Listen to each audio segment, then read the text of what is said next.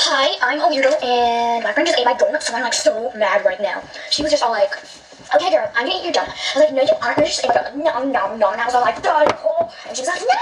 And she ran away with my donut. She ate it all, and then she ate my other donut that I got from Dunkin' Donuts. I mean, she like owes me a million gazillion dollars now because she's stolen a million gazillion donuts from me, man. I mean, it's so sad. As in, sad as in crying sad. Not lame sad, because it was lame sad, that means it'd be sad for me not being able to catch up to her and get the donut. But I love donuts, as most people do. So, yeah. I'm gonna go have some cheez And now my friend got all my cheez She's gonna end up robbing my whole house from start, so my mom's gonna be happy. I'm not. I'm gonna go in a rage.